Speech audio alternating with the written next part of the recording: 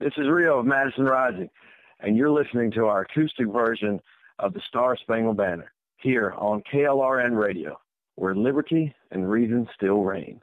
Oh, say, can you see by the dawn's early light what so bright?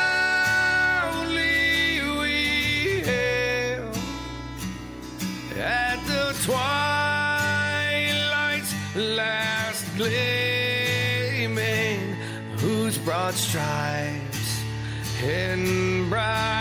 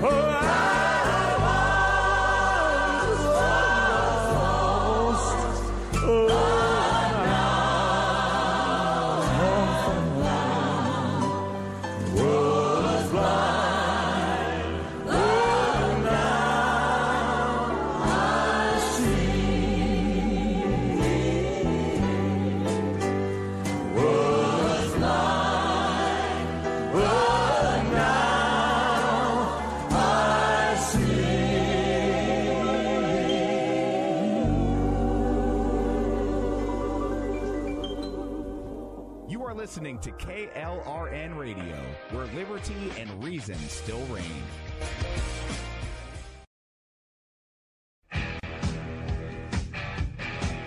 KLRN Radio has advertising rates available. We have rates to fit almost any budget. Contact us at advertising at klrnradio.com.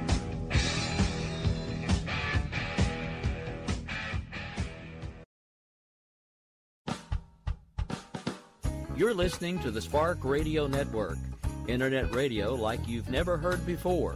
Innovation, creativity, and imagination are all said to begin with a spark.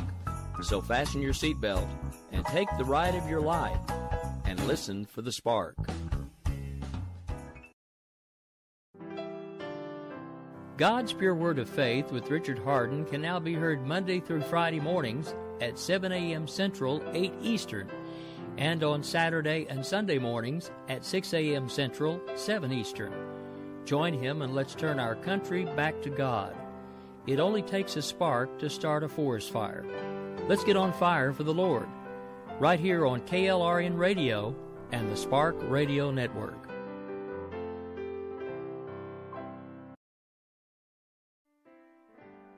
Visit Richard's website at rahardin.com. That's the World Wide Web at rahardin.com. At his website, you can see a summary of the six books he has written, where purchases may be made. He also has a link to 18 videos on YouTube and several blogs about Christian beliefs. If you prefer, visit amazon.com backslash Kindle and type in Richard Hardin to see and purchase his books. Each of my programs are being saved so that you can listen to them at any time.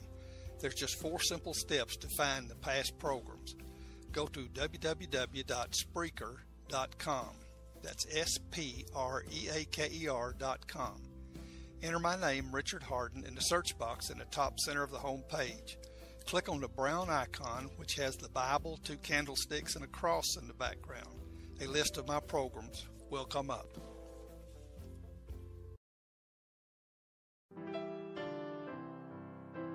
You're listening to God's Pure Word of Faith with Richard Hardin. Richard will guide you through the Bible and help you find God's purpose for your life. Now, here's teacher and author Richard Hardin.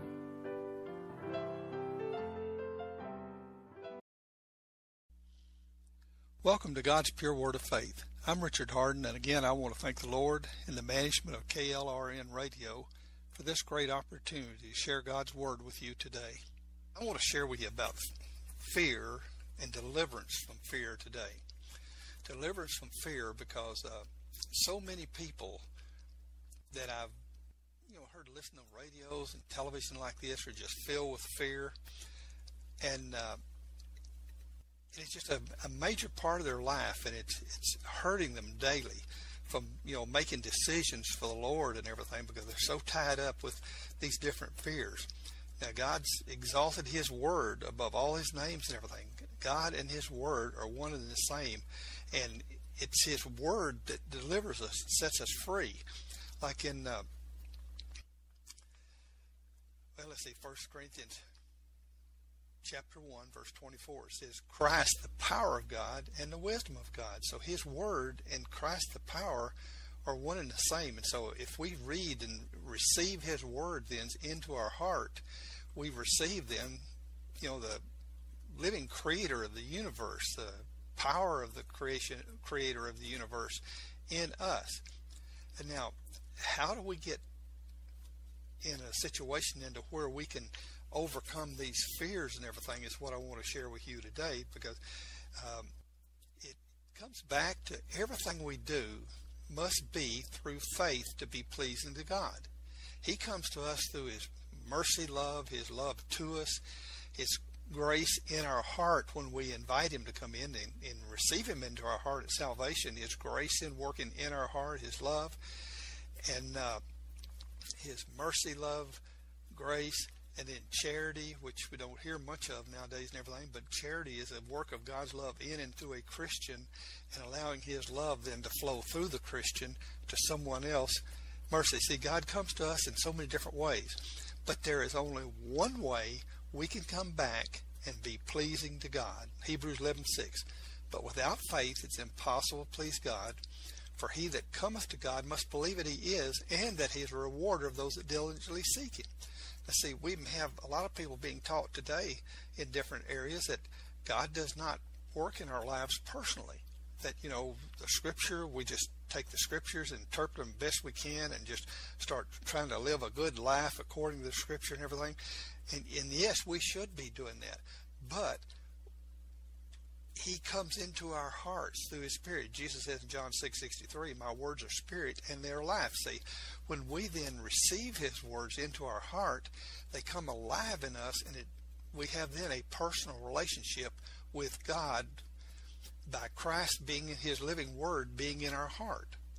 And his living word is the creator of the universe. He spoke, he said, Let there be light. Christ went forth. It's the same living word that spoke to Moses in Hebrews 11:26. It says Moses esteemed the riches of Christ greater than all the riches of Egypt. Now, see, so uh, Christ in us, but now still there's so many Christians, it appears, that are you know bound up in uh, fears and everything. Let me share with you some scriptures here. Uh, well, first, fear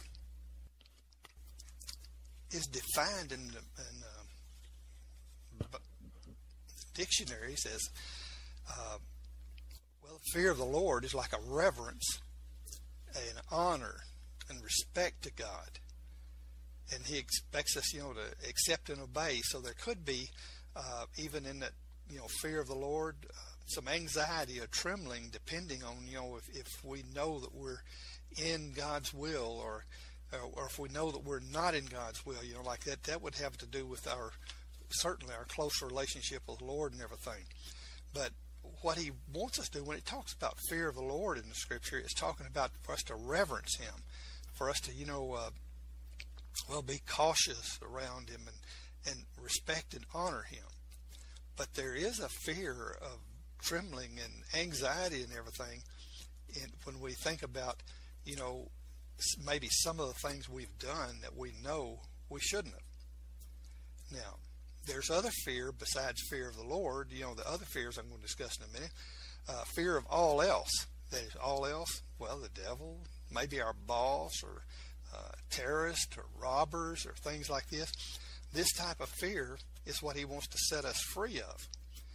And this type of fear brings brings a person to a powerless condition, uncontrollable expectation of hurt and harm. You know, you're you're so afraid of what's going to happen. You're anxious and trembling, and you're it's fearful of the unknown because you don't know what's going to take place, and like this. And that is what the Lord wants to set us free of. This uncontrollable fear of all things beside Him. Now, it's certainly, uh, well, smart to fear the Lord because you know uh, in the end, we're going to stand before Him at the judgment seat of Christ for Christians and at the white throne judgment for others. But anyway, um, in Deuteronomy chapter 6, God started out. He says, uh, Now these are the commandments, the statutes, and judgments which the Lord your God command to teach you, that you might do them in the land when you go to possess it that thou mightest fear the Lord thy God, to keep all his statutes and covenants, which I command thee this day. And he says that, that thou and thy son, thy son's son, you know, all your generations like that, um, the days of your life like that, that may be prolonged. Deuteronomy 10, it says, Now Israel, what does the Lord thy God require of thee but to fear the Lord thy God and walk in his ways, to love him? See, hopefully this relationship of fear of God, once we start, you know, walking with Him, will develop into a loving relation. Proverbs chapter 31, 30 says, Favor is deceitful and beauty is vain, but a woman that feareth the Lord, she shall be praised. Proverbs 14, a wise man feareth and departeth from evil. Now, see, that is what happens to most of us, you know, as, as we're growing up as young people and we start recognizing God and we don't know them particularly. That's God really teaching us and everything, but Jesus says they shall all be taught of God. every man therefore that comes and learns of the Father, you know, it comes unto me. Well, God's teaching us, and even though we may not recognize and know it's God, as we learn more and more about Him like that, it says the wise person, you know, feareth and will start seeing, hey, I better do something, you know, uh, to prepare for, you know, leaving this physical world. I need to do something, you know, because uh, is there a life out there? Is God there? Is God real? You know, and, and start kind of seeking and asking and being open to God to learn, you know, about Him. It says, The fear of the Lord then is the fountain of life to depart from the snares of death. And then in Psalms 85, surely His salvation is nigh them or close to them that fear Him, that glory may dwell in the land. And for those that have reverence, respect, like that, His salvation is near them. Psalms 25 says, The secret of the Lord is with them that fear him, and he will show them his covenant. You know, it's not secret because he hides it from us. It's just, you know, uh, we've got to be concerned enough about him and about his ways and what he wants for us that we'll actually be open to his teaching and even more than just being open, but we'll do some seeking because in uh, what is it, Second Chronicles twelve fourteen, uh, Solomon's son Rehoboam said he did evil because he prepared not his heart to seek the Lord. See, you, you got to make some kind of preparation, like in there. Well, I I need to start maybe checking this out for myself. I need to you know find out just the best I can what life's all about. Then uh, Proverbs 30, excuse me, Psalm 33 says, Behold, the eye of the Lord is upon them that fear him, upon them that hope in his mercy. See, uh, when we set ourselves to seek the Lord and everything, it's not just a one way uh, activity. Because as we set ourselves to seek the Lord, God certainly wants to respond. And because um, He wants all of us to come into a fellowship with Him. And His eyes are open to us, and, and He will respond to us. If you, if you seek Him with a honest heart, I've told a lot of people, you know, the game we used to play like uh, 20 questions where somebody would get up and act out something and uh, the audience would have 20 questions they could ask the person they had to answer honestly and they'd see if they could guess what he was doing everything well if you do that with the Lord, if you have honest questions to the Lord, you know, as you're seeking Him or wanting to get related to Him and everything, uh, ask Him these questions. I knew a a Jewish man that I used to work with about 25 or 30 years ago, and uh, we were talking about this one day, and he said, uh, I haven't told most people this, but he said when I was about five or six years old, uh, we were pretty poor. My mom and dad uh, didn't have all that much money just to go out and buy things they needed and everything, and our refrigerator went out, and uh, he said that it it upset his mom and dad so much and everything. He was upset because they were, and and they left him there and uh, with his older brother and sister, something like that, and they went to town looking for a refrigerator. Well, he said that um, he was there and he had been hearing about God and everything. And he said, God, if you're really real, like you know they say, if you're real, fix that refrigerator. And he said that instant he said, fix that refrigerator. It started humming and working. And when his mom and dad came back, they were so happy and everything. The refrigerator working. He said that refrigerator worked for years after that. But see, there's a lot of things God will do just to make His presence known to people if they're really honest in their seeking. And Jeremiah 29:13 says, "You shall seek me and find me when you search for me with all your heart." See, but it's got to be an honest, open heart, you know, doing like that. The mercy of the Lord is from everlasting to everlasting upon them that fear Him his mercy endures forever. See, so even though mercy was his main uh, connection or covenant with the people of the Old Testament, like in Isaiah 59:21, uh, God says, "This is my covenant with them. I'll put my spirit up on them, and my word in their mouth." See, it says His spirit of mercy, His one-way love to them, and everything, and His word. Jesus says in John 17:17. um, sanctify them by thy word. Thy word is truth. See, so his word. So in the Old Testament, then, like also it says in Psalms 25:10, mercy and truth are all the ways of the Lord to those who obey his covenants and testimonies. So all the godly people of the Old Testament, they had His Spirit on them, and His Word, His living Word, Christ to them. Now, so we still have that today. We have His living Word on us. He He keeps us from having automobile wrecks and all kind of things like that, and He works in our lives daily in ways that we aren't even aware of, in, in so many of them. But we have a better covenant, though. Not only we have His Spirit on us and around us, protecting us, things, His Word to us, Christ to us, we also have Christ in our hearts, like it says in, as Christians, as it says in Ezekiel 36, 26, a new heart also will give you, a new spirit will I put within you. I'll take away the stony heart out of your flesh, and I'll give you a heart of flesh, and I'll put my spirit in you. See, when His Spirit comes in us, then not only has He forgiven our sins, He's created in us a new, pure heart, puts His Spirit of love in us, and we are a new creature, like it says in uh, 2 Corinthians 5:17. If any man be in Christ, he is a new creature.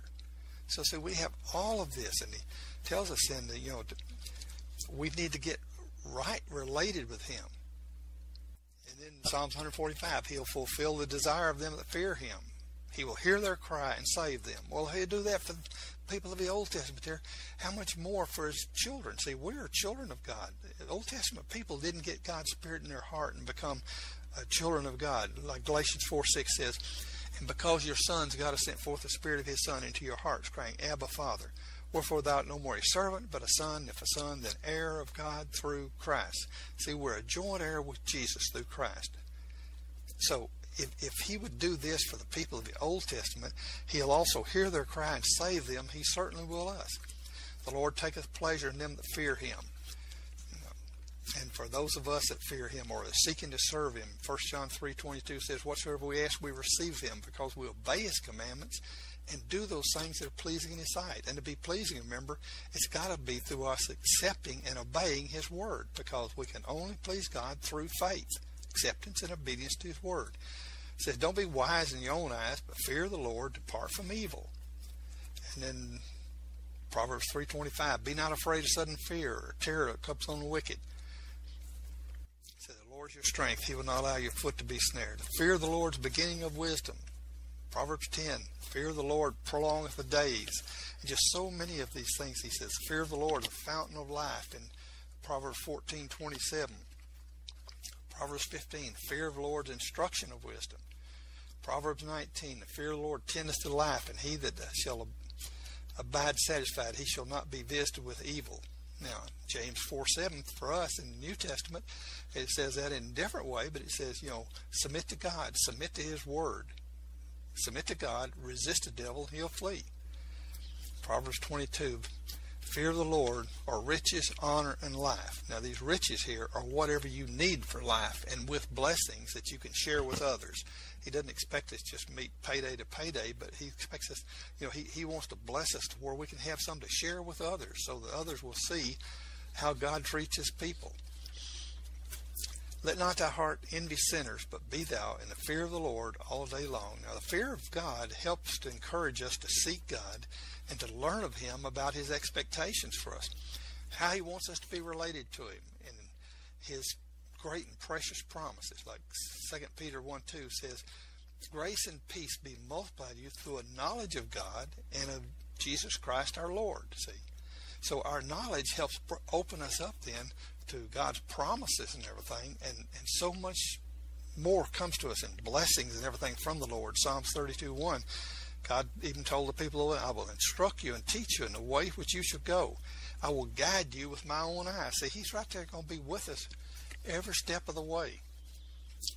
But now, as we grow with Him then in fellowship and everything, it should turn from a fear of God into a loving of God. 1 John 3, verse 1 2 said, Behold, what manner of love the Father has bestowed on us, that we should be called sons of God. We are sons of God, not just called that, we are sons of God. Therefore the world knoweth us not, because it knew Him not. Beloved, now we are sons of God, and it does not yet appear what we shall be. But we know when he appears, we shall be like him. Okay, in 1 John 4:18 says, "There's no fear in love, but perfect love casts out fear." See, that's what we're shooting for in our lives is to develop a relationship with the Lord, studying His Word and the different promises, the promises, you know, for uh, protection, the promises for our substance or what you know, our food or clothing, things like this, and promise for you know just all these things that we need in our life like this. Develop that trust and loving relationship with the Lord, and that perfect love then will cast out the, these fears. And then God says, well, in 2 Timothy 1 7, God has not given us a spirit of fear, but a power. Power now in 1 Corinthians 1 24, Paul says, Christ is the power of God. And uh, so here, God has not given us spirit of fear, but power, Christ, the power of God, and of love, and of a sound mind. Because see, when you have all those fears in you like that, you can't have a sound mind. You'll have confusion. You'll have everything else like this. As Christians, we are spirit, soul, and body. You know, and our body then our six our five senses you know we see things we hear things we taste things we you know uh, the, these sensors of ours um, smelling and touching things, they they take information and, and send it into our mind, and our mind then evaluates this and um, causes us to have strong emotions depending on what we see, uh, and causes our emotional being then our mind and soul. Excuse me, our mind and emotions are our soul, and you know we need peace in our soul. We need our mind, uh, you know, bringing in this information but if it's some kind of negative information, we need to take it to the Lord. The scripture says that we should be submitting every thought to the obedience of Christ. So when our mind opens up something to us like that that would at first start trying to scare us, we need to submit that to Christ, His living Word. So that means we need His living Word. We need our hearts filled with His Word so the, the things we say, or excuse me, the things we hear, smell, or taste, or like this that would cause us to be fearful you know, we need to evaluate it based on the things of Christ that are in our heart. It doesn't need to be based on, you know, uh, what people have told us or, you know, things like this that would scare us and the devil trying to cause fear and everything. We need to be submitting every thought to the obedience of Christ and submitting to God's Word and what God has to say about it. Now, if there is anything that we need to fear, Hebrews 4 1 and 2 states, Let us therefore fear lest a promise being left of entering into his rest, see that rest in the uh, soul, in the, in the mind and emotions, be any promise being left us of entering into his rest, any of you should seem to fall short of it. For unto us was the gospel preached as well as in them, but the word preached did not profit them, not being mixed with faith in them that heard it. So when the gospel's preached, when any of God's words preached, we need it in our heart to give us that peace in our mind and emotions. Because that's where it's going to come from. Because we're going to get all kind of messages from the world through our fleshly being, you know, and our our sensors, our touching, smelling, tasting, hearing, and seeing. All kind of things are going to come into us. But our mind then should be set to where we set our minds on the things of Christ in our heart. We should have His Word in our heart to evaluate that, and that would then bring peace to our mind and emotions. Hebrews 6:12 says that you be not slothful lazy, but followers of them who through faith and patience inherit the promises. See, we don't just get those promises filling our hearts just because we've become a Christian.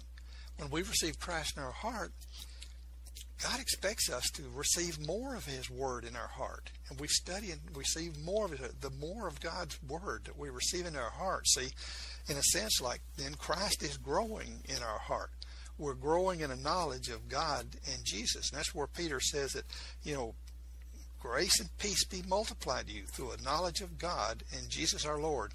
Need to be uh, studying, accepting, receiving God's Word into our heart so that we come into a, a joyful relationship with God instead of a fear of God. We're looking forward to Him, you know, and, and we enjoy seeing His presence throughout the day. And in Hebrews 13, the Lord is my helper. I will not fear what man or the devil shall do unto me.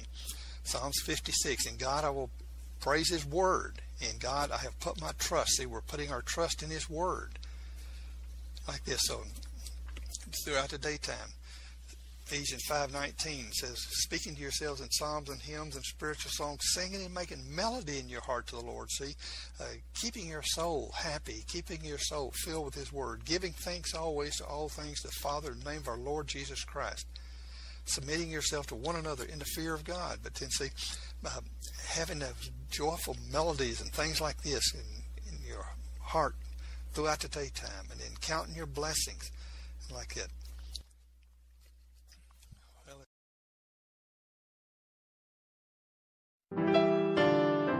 God's Pure Word of Faith with Richard Hardin can now be heard Monday through Friday mornings at 7 a.m. Central, 8 Eastern, and on Saturday and Sunday mornings at 6 a.m. Central, 7 Eastern. Join him and let's turn our country back to God.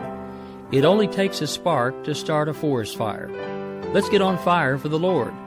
Right here on KLRN Radio and the Spark Radio Network.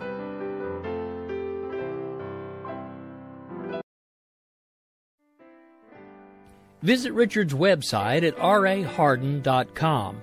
That's the World Wide Web at rahardin.com. At his website, you can see a summary of the six books he has written, where purchases may be made. He also has a link to 18 videos on YouTube and several blogs about Christian beliefs.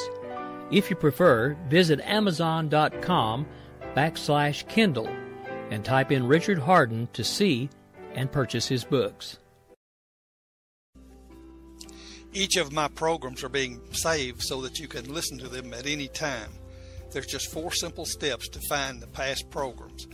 Go to www.spreaker.com. That's S P R E A K E R.com. Enter my name, Richard Hardin, in the search box in the top center of the home page. Click on the brown icon, which has the Bible, two candlesticks, and a cross in the background. A list of my programs will come up.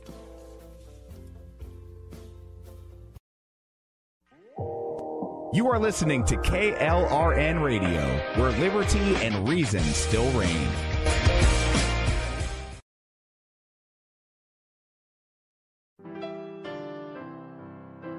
You're listening to God's Pure Word of Faith with Richard Hardin. Richard will guide you through the Bible and help you find God's purpose for your life. Now, here's teacher and author Richard Hardin. Welcome back. I've been discussing with you about you know the fear of God, how the fear of God in our lives as we grow in our knowledge of God and our Lord and Savior Jesus Christ. Um, Apostle Peter says we grow in um, peace and, and grow in you know just a, a, a loving relationship with uh, the Lord instead of you know having some type of fear of God. And it Scripture even says that you know perfect love um, casts out fear, and that's what we're shooting for in our life with the Lord is to uh, walk with Him daily in such a way that we know He's there, and uh, He's He's there just in all areas. Let me read you some scriptures now, real quick, the Old Testament, about some of these areas that the Lord tells us and encourages us not to fear, that we should, you know, uh, uh, trust and know that He's right there with us. Like in Genesis to Abraham, fear not, I am your shield and your reward. And then in um, to Hagar in Genesis, I have heard your son's prayer, and I am with you. I will bless you. And to Rachel, one of the wives of the Old Testament, says that fear not, I, thou shalt have this son. And to Jacob, fear not, I will make of thee a great nation. And to Moses, fear not, I have delivered him into your hand. Have, and again to Moses, fear not, I have delivered him to your hand.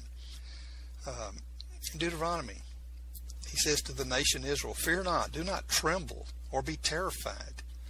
Do not be dismayed or confused or something like this, he told Joshua.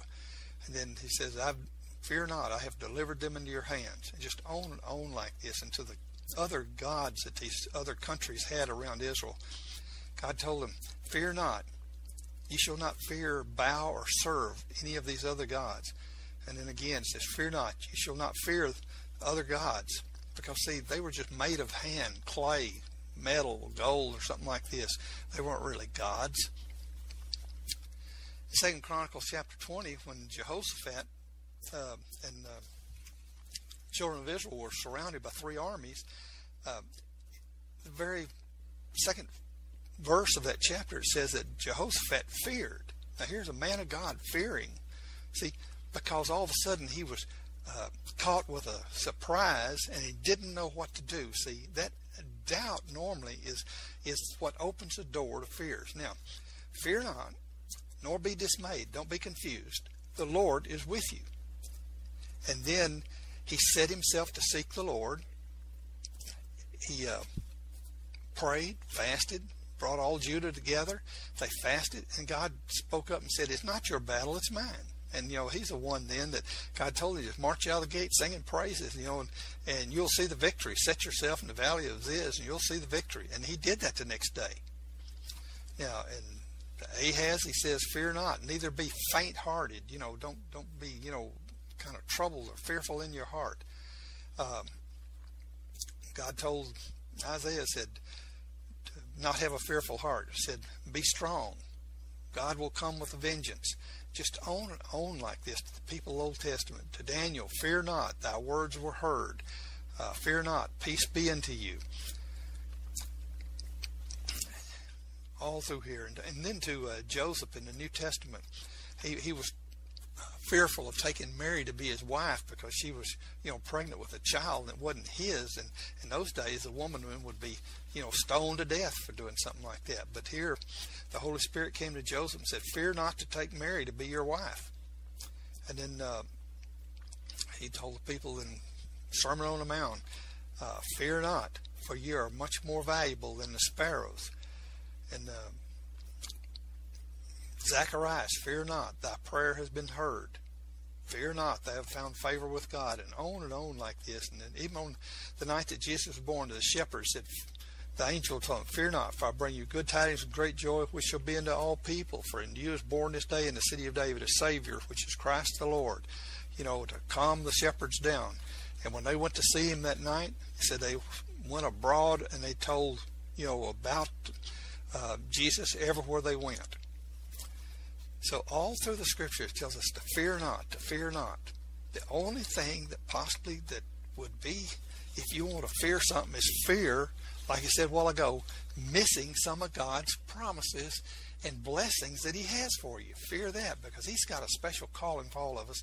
Second Timothy 1 9 says He saved us and called us to a holy calling, not according to our works, but according to his own purpose and grace created in Christ Jesus before the world began. That's how special you are to God. I don't care who you are listening. I don't care how old you are. I don't care how young you are. If you can understand what I'm saying, you have a special calling in God's eyes, and you're never going to be fulfilled in this lifetime until you start seeking it because He's created all of us with a void in us that only He can fill. And he'll only fill that void when you invite him to come in say, humble yourself and say, Lord Jesus, please forgive me. Come into my heart and save me. And I commit my life to you, creating me that new heart. I want to be one of your children, you know, and, and give him that desire. Now, when you call out to Jesus with that, see, his name is the name we must call out to, the only name. He responds then, see, to send the salvation to you. See, your calling out in prayer and everything goes to Jesus. He then sends back then the Spirit of Christ, the living Word, into your heart to create in you the new heart, like in Ezekiel 36, 26, where he says, A new heart also will give you, a new spirit will I put within you. I'll take away the stony heart of your face. I'll give you heart of flesh, and I'll put my spirit in you. And you become a child of God. See, the response from Jesus is what creates in us a new heart and a child of God. That's why I ask so many people, have you received the changed heart? See, you might have said a lot of fancy words or something like that. I did too when I was nine years old. I answered all the preacher's questions right and everything, but I didn't turn to the Lord with all my heart until I was age 33 and said, Lord, please forgive me. You know, if you're real, show me. You know, come into my heart. I want that relationship. If you want a relationship like this, you know. And I said, but I don't want to go on feelings. I want to know you're real and in me, like the Bible says. Well, things that's when things changed my life. And I found at age nine, all I'd done was just answer a bunch of questions correctly and join the church. And see, what we do and say has got to be from our heart of wanting to get rid of our sins and repent and turn from sins. I didn't recognize myself as being a sinner when I was nine years old. I knew I did a lot of things that were bad, but see, that was just me and the people I did bad things to. You know, it, it wasn't between me and God. But you know, we've got to turn to the Lord. Jeremiah 29, 13, you shall seek me and find me when you search for me with all your heart. God won't hear an answer, a half-hearted thing, you know, just wanting an insurance policy or something like that. You've got to want to turn from those sins against God, you know, that separation of your heart from God, and say, Lord, please forgive me of that sin. Come into my heart and cleanse me of that sin and create in me the new heart, the new life. Now, see, uh, that's what we need to do. Now, in uh, well, I got sidetracked there for a minute, but God has not given us a spirit of fear. We need to take a look at this a little closer now, so that we can see how to be delivered of this. In listening to a radio program one day, I heard that this preacher was talking talking about so many different phobias. A phobia is some kind of you know, real irrational, excessive, persistent fear of some particular thing or situation, like spiders, snakes, or height, or flying in planes, things like this. And I looked up on the computer and there's thousands of them. There's thousands of phobias that people are afraid, and, and, and you know, just uh, their lives are just controlled by these things. And many Christians I know seem to express fears as openly as those I know who do not claim to be Christians and who do not attend any church with all these deliverance ministers around our country and other ministers teaching and preaching overcoming fear, it seems that Christians should be some of the strongest emotional people in our society. Yet even thousands of ministers themselves walk away from their spiritual callings of preaching and serving with young people and things like that and counseling. And they go into counseling themselves. The reason so many people try to get set free of fear and are unable to is because they do not know their enemy. Now, this is the secret to being delivered from fear. Well, it's not really a secret, but it, it seems to be a secret in our society. And I want you to know this morning this will set you free of fear if you will just hear and receive and do what I share with you. You've got to know your enemy, fear. So their efforts when these ministers are teaching and preaching all these things around the country about being set free of fear and things like that, it's like a shadow boxer. If you're familiar with shadow boxers, uh, when you're practicing, getting ready to fight and everything, you jump around and you do your fancy moves and you got such good form and you're dodging here and ducking here and back and forth and you're swinging great swings. But you're not hitting anything because there's nothing there to hit. You're just going through the motions and everything. See, that's what they call shadow boxing. And that's what this is. You're going through the motions of saying the words about getting rid of fear and all this stuff and everything. But you got to know your enemy. Now listen to this. First, you must determine what fear is if you expect to fight it and win the victory. It's not an gripping emotion like most people say. We are a triune being as Christians. We have a body, that you have sensors to bring in information to the soul, which is the mind and the emotions. But inside us, as Christians, is the Spirit of Christ, the third part of our you know, our being. We're a triune being. Now we have Christ in us, the Spirit of God in us. Now, being taught that fear is emotion is not true. Now, fear can cause severe emotions, cause terrorizes. you know, emotions, you know, just paralyze us and things like this can scare us so bad. Fright, confusion, and all this. But fear is not the emotion. It can cause these severe emotions. Now, and that's important because as Christians, we need to know that if fear is not an emotion, what is it? What is fear if it's not an emotion? Apostle Paul, I've already read the scripture before, tells us in 2 Timothy 1 7, says, For God has not given us the spirit of fear. Wait a minute. See the spirit of fear? But of power. Power now. Christ is the power of God. So but God's given us power, Christ, and of his love. God is love. And of a sound mind. See, to stabilize our mind and everything. But the spirit of fear. I've looked up in the concordance, the word fear is used uh, oh, 100 times maybe or more, something like that. And they always give a definition of, of how it's used in that particular verse. This one verse, when they gave the definition of this one verse, how what fear was here, it's odd because other places it says, you know, like torment or this or that or whatever. Here, it just says fear. Spirit of fear. Definition of that is fear. Now, I'm telling you, the spirit of fear is the devil. See, the devil is the spirit of fear. God has not given us the spirit of fear of the devil, but of power, which is spirit of Christ, Christ, the power of God, of God's love, and of a sound mind. Now, spirit tells us that fear is a spirit, and it certainly is not God's spirit. Therefore, it is the devil. Fear is not an emotion. Fear creates emotions, strong emotions, but fear is not from the devil. Fear is the devil. Anytime you get above being anxious and start becoming fearful, the devil is making his presence known to you to try to terrorize you so much in your emotional being, your mind and emotions, that you'll be unable to find God's presence or will. See, that's what he's trying to do. He's trying to confuse you. He's trying to terrorize you so that you won't be able to calm down like Jehoshaphat did when he was surrounded by those three armies. He said he feared and set himself to seek the Lord. Then when God spoke to him, he got out of that doubt he had, and he was set free of the fear.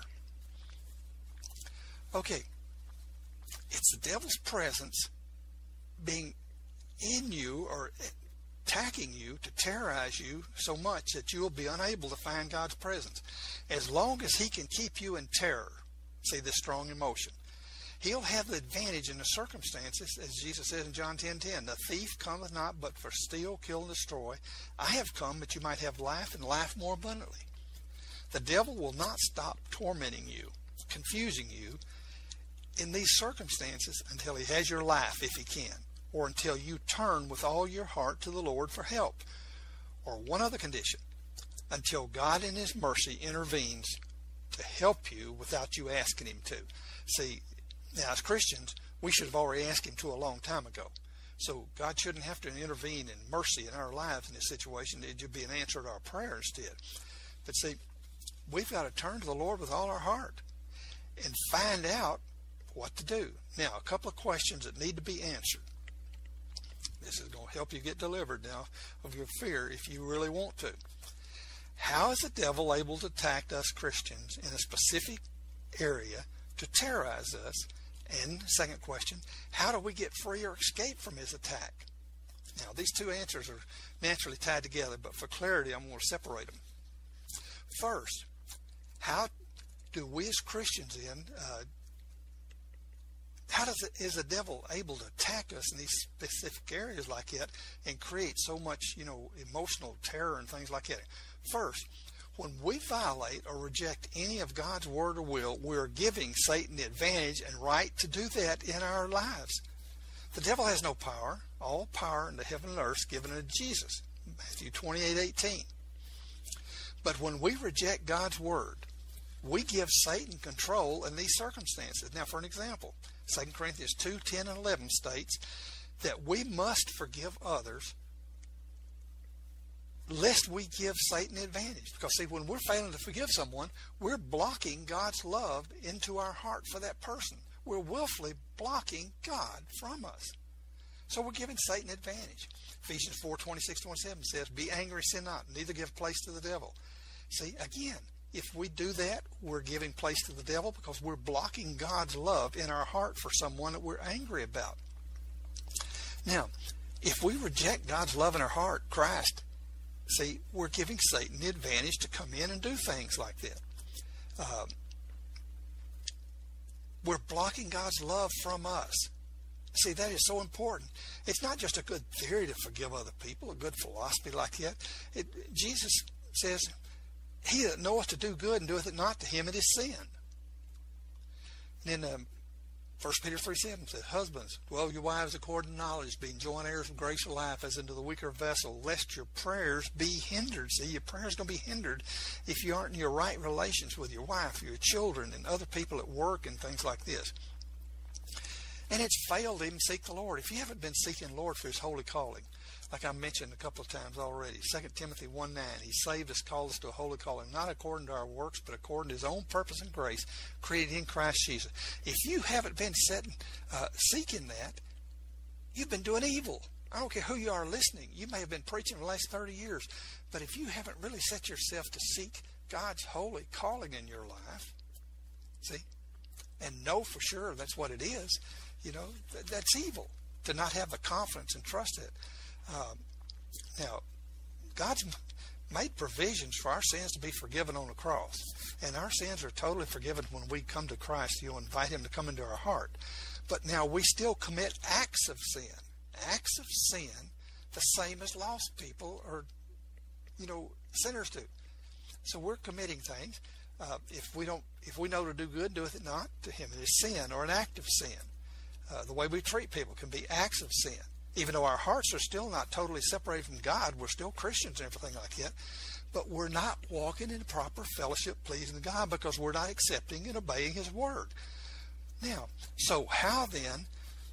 That's what causes the devil to be able to have an open door to get into us. Now, how do we shut that door? Get our hearts right with God, like the old people of old times ago used to say, praying through. They weren't praying through to seek God, they were praying through to get their hearts right with Him. Therefore, if you've rejected any of God's word or will for you, to teach a class that He has asked you to teach, to work with the young people, the elderly, to preach full time, or whatever it is, if you've rejected anything from God, you've rejected His love from your heart for that particular situation, and you've given the devil advantage in your life. Because that's what revival is now. Revival is now for us, each one of you listening, for me, go back, set ourselves to seek the Lord with all our heart and say, Lord, give me another chance. Show me things that I've rejected of you. Help me to close these doors to the devil. Because, see, as long as you have those doors open of doubt and things like that, doubting His Word, maybe you don't even know God's Word. You must make sure your heart is right with God before you start trying to fight the devil because James says, submit to God or submit to His Spirit, His Word. Resist the devil and he'll flee. And it's got to be His pure Word.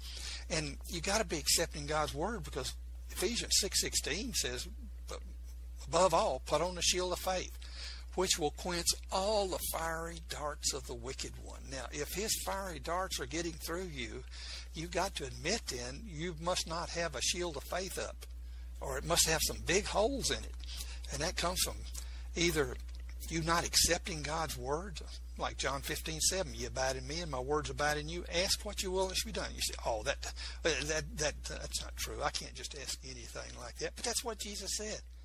Study that scripture.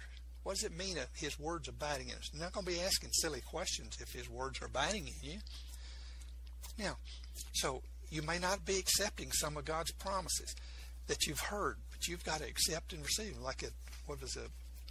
Hebrews uh, 11 6 says, He that cometh to God must not only believe that He is, but that He's a rewarder of them that diligently seek Him. Now, you got to, you know, trust that He's going to reward and answer you to be able to diligently seek Him. So you, you've got to know His Word, accepting His promises then, and then it's quite possible that what you claim to be His Word and your friends claim to be His Word is a false doctrine. Because look at that, three or four hundred different denominations we have around our country. One of them says speaking in tongues of the devil. Us says speaking in tongues is the greatest thing on earth. And it's just back and forth. Some say God doesn't heal people like he did in the Old Testament, things like this. And just, you know, people say all kind of things. You are responsible for your own beliefs. When you stand before Christ, stand before God in eternity, it's not going to be what your brother, sister, mother, dad, or preacher believed. It's going to be what you believed and what you responded to. That's why each of us are personally responsible for our choices and our decisions. Hebrews 4 1 again. Let us therefore fear lest a promise being left us of entering into his rest, that grace and peace, any of you should seem to come short of it. If you must fear, fear missing God's great and precious promises, and even fear about your own salvation. Have you received that changed heart? Do you remember when you cried out to get rid of your sins? When you cried out to say, Lord, please forgive me. Come into my heart and save me. Now, that's, that's very important. You may have said those words, or some similar to that back there. But did Jesus respond then by creating you the new heart, the new life, and, and cleaning up your old heart and taking all those sins and things out? And see, you should know if he did it because he will only do it if you ask him to do it. So if you saw your heart as being that old like trash can full of stuff and you ask God to forgive you and clean it up and he gives you a new clean heart then and puts his spirit of love in him in you, you'll know it. You can't keep from knowing it because that's just what he you ask him to do. But if you can't think back and remember that right now your greatest priority should be to seek the Lord with all your heart until you know for sure that you've received him in your heart as personal Lord and Savior. And then allow his words to come in and, and just give him a chance. If you don't believe God heals everything like he used to heal, say, Lord, please help me. There's a man in the New Testament said, Lord, I believe. I believe you could do anything. I believe, you know, help thou my unbelief. Help my rejecting. Help me to receive your word into my heart, in other words. You know, pray and ask God. He wants us to have his word in our heart. He's not keeping it from us, hiding it, something like that. He that dwell in the secret place of the Most High shall abide in the shadow of the Almighty. It's not secret because He hides it from us. It's secret because He wants us to love Him, care enough to seek Him. If you're out there listening today and you'd like to receive Him as your personal Lord and Savior, I would like to encourage you to do it right now and to keep praying and seeking. Scripture says that whosoever shall call upon the name of the Lord shall be saved. Now, just calling on his name now and saying the words is, is not going to get you salvation. But if you truly want to receive the new heart, the new life, whosoever shall call upon the name of the Lord shall be saved, then that's you. You must respond to mix the gospel like that. There's a scripture in Hebrews 4 2. It says, The gospel preached to them did not profit them, not being mixed with faith in them that heard it. And the way you mix it with faith is to humble yourself before God and say, Lord, please forgive me. In uh, 1 John 1 9 says, If we confess our sins, he is faithful and just to forgive our sins and to cleanse us from all unrighteousness and to give us that new clean heart and to put his spirit in us and we become a child of God. Like it says in Galatians 4 6, and because your son's God has sent forth the spirit of his son into your hearts, crying, Abba, Father, wherefore thou art no more a servant, but a son, if a son, then heir of God through Christ. Abba means daddy father. See, he wants that close relationship with us. We become a child of God. And if you don't have that and know that you've received the changed heart, pray with me now. It don't have to be exact words and everything, but the intent of it. Jesus, I ask you to please forgive me of my sins. Cleanse me of all my sins. I want to turn from my sins. I surrender my heart and life to you and invite your spirit, the Spirit of Christ, to create in me a new heart, clean heart, and come to live in my heart. In your name, Jesus, I ask, Amen. See, He wants all of us. There's not been one person born on this earth that God didn't want to receive His Spirit. Like, for example, the uh, Matthew, let's see, 2541, Jesus was talking about separation of sheep from the goats, of white throne judgment, something like this. You're going to depart from me he said, You wicked, into the everlasting, eternal uh, punishment of fire. He said, created for the devil and his angels. See, hell and the lake of fire was created for the devil and his angels, not for us, not for people. God loves everybody with a and you know, as Christians, we have a new heart from God and the Spirit of Christ, God's power in us. God is love, and his spirit is in our hearts. In John 1 John chapter 4 verse 18 it says, There's no fear in love, but perfect love, God, casts out fear, because fear is torment. He that feareth is not made perfect in love or God yet. So in James 4 7, the scripture says, Submit therefore to God, or his spirit in you, resist the devil, fear, and he, the devil and fear, will flee from you when you start getting apprehensive about something like starting to fly or a storm coming, looking ahead at what might happen to you in your job, your health, don't just worry and think about these future events or maybe something that you're even going through right now. Philippians 4 6 says, When you start getting anxious, turn to God then by prayer and supplication with thanksgiving. let your requests be known to God. Your request and your concern to be known to God. Worrying won't help you one bit, but it will cause you to miss God's blessings to you during that time. So, choose, make the choice yourself to set yourself in submission to God in prayer, talking to God, and counting your blessings from past things, experiences with God. Then watch the devil and fear flee from you. Now, always let your anxiety be a red flag to remind you to pray. God loves you. He will hear you. And in First um, Colossians 1:27, Christ in us, our hope of glory. So have a good day. God bless you and be set free. John 3:16 17 For God so loved the world he gave his only begotten son that whosoever believeth in him Jesus should not perish but have everlasting life.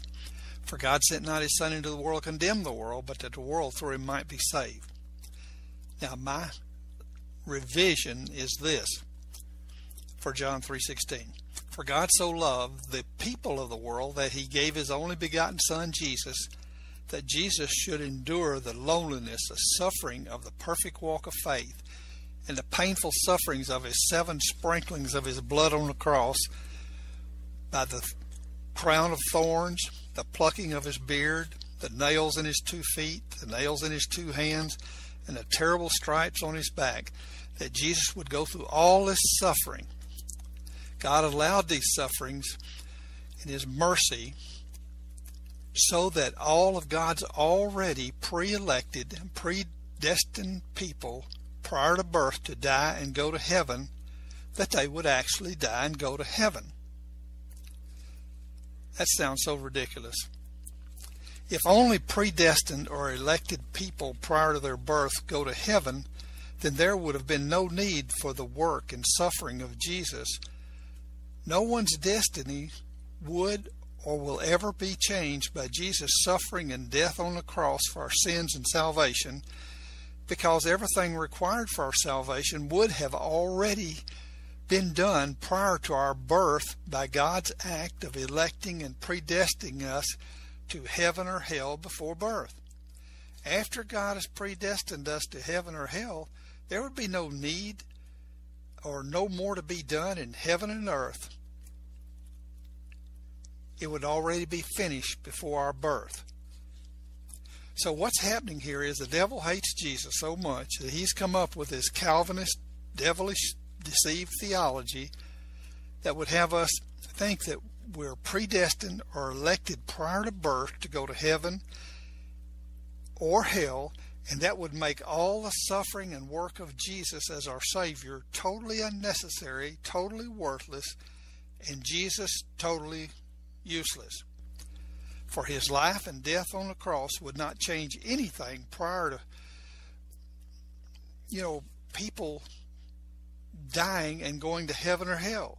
Because it's already been done by God predestining and electing them to heaven or hell before we were born. See how ridiculous that is? Good day. God bless you. Visit Richard's website at rahardin.com. That's the World Wide Web at R-A-H-A-R-D-I-N.com. At his website, you can see a summary of the six books he has written, where purchases may be made. He also has a link to 18 videos on YouTube and several blogs about Christian beliefs. If you prefer, visit Amazon.com backslash Kindle and type in Richard Hardin to see and purchase his books. Each of my programs are being saved so that you can listen to them at any time. There's just four simple steps to find the past programs. Go to www.spreaker.com. That's S P R E A K E R.com. Enter my name, Richard Hardin, in the search box in the top center of the home page. Click on the brown icon, which has the Bible, two candlesticks, and a cross in the background a list of my programs will come up. God's Pure Word of Faith with Richard Hardin can now be heard Monday through Friday mornings at 7 a.m. Central, 8 Eastern, and on Saturday and Sunday mornings at 6 a.m. Central, 7 Eastern. Join him and let's turn our country back to God. It only takes a spark to start a forest fire. Let's get on fire for the Lord.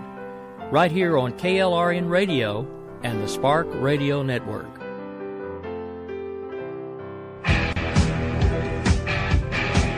KLRN Radio has advertising rates available. We have rates to fit almost any budget. Contact us at advertising at klrnradio.com. You are listening to KLRN Radio, where liberty and reason still reign.